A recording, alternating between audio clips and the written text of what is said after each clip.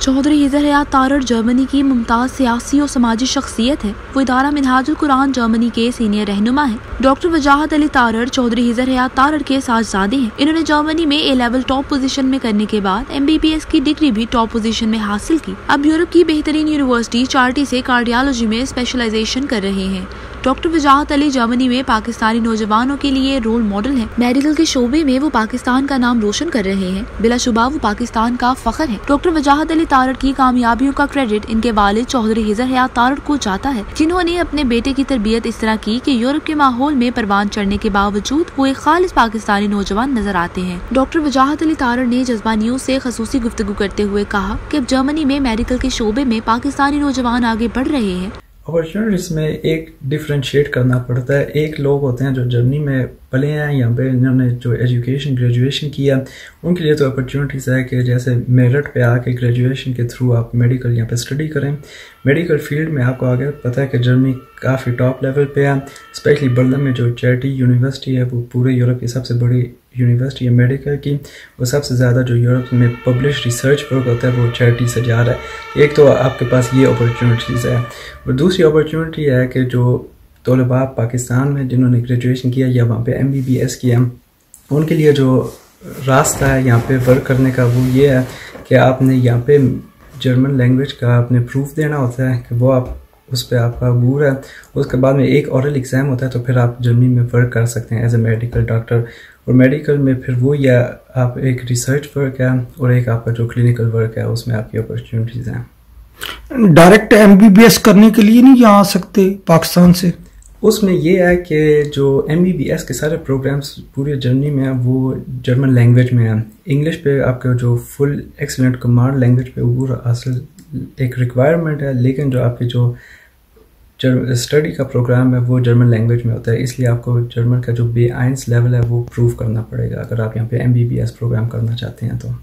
پاکستانی جو یہاں پڑھ رہے ہیں پاکستانی طلباء طلبات جو جرمن بورن ہیں جنہوں نے یہاں ابیٹوا کیا ہے جی۔ کیا پاکستانی میں ٹرینڈ ہے میڈیکل میں آنے کا جرمنی میں؟ ٹرینڈ اب پیدا ہو رہا ہے۔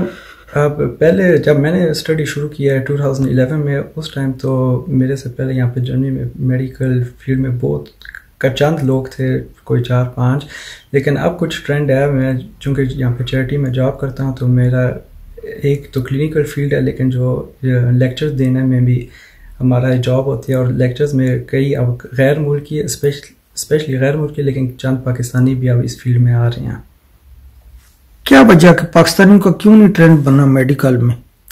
صرف میڈیکل میں نہیں، پاکستانی ہمارا ایک پرابلم رہا ہے جو پڑھائی کے لیول ہے، اس میں ہم پہلے کافی پیچھے رہے ہیں، لیکن اب اوور آل ہمارے جو غیر ملکی ہیں، ان کا ٹرینڈ کافی پڑھائی کی طرف جا رہا ہے اور اس میں پاکستانی بھی شامل ہیں۔ اگر آپ نیکسٹ جنریشن دیکھیں، پاکستانیوں کی جو مجھ سے بھی تھوڑے ینگر ہیں، تو وہ سارے اب اسٹڈیز کی طرف جا رہے ہیں۔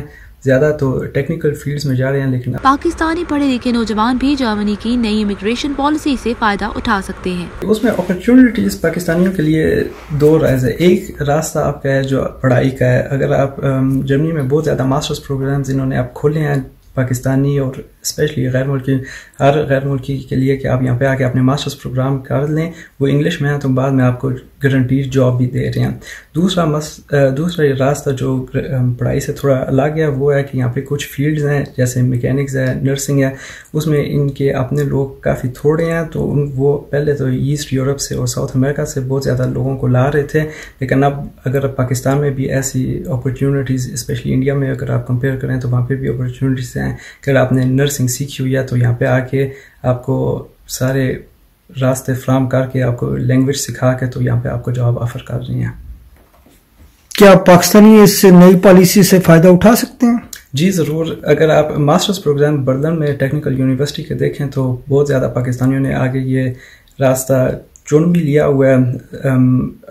اگر آپ نے انجینئرنگ میں بہت زیادہ فیلڈز کھل رہے ہیں اسپیشلی اگر آپ میڈیکل کا پہلے پوچھ رہے تھے، میڈیکل میں بھی انہوں نے ماسٹرز پروگرام جو ہیلتھ سروسز ہیں اس میں ماسٹرز پروگرام انگلش میں کھلے ہوئے ہیں جو پاکستان میں جنہوں نے ایم بی بی ایس کیا، وہ یہاں پہ اپنی پڑھائی آگے بڑھا سکتے ہیں اور وہ ہیلتھ پروگرامز کے ذریعے پولیٹکس میں بھی جوائن کر سکتے ہیں۔ امیگریشن اور تارکین وطن کی خبروں سے باخبر رہنے کے لیے ہمارا یوٹیوب چینل سبسکرائب کریں اور بیل آئیکن کو کلک کریں۔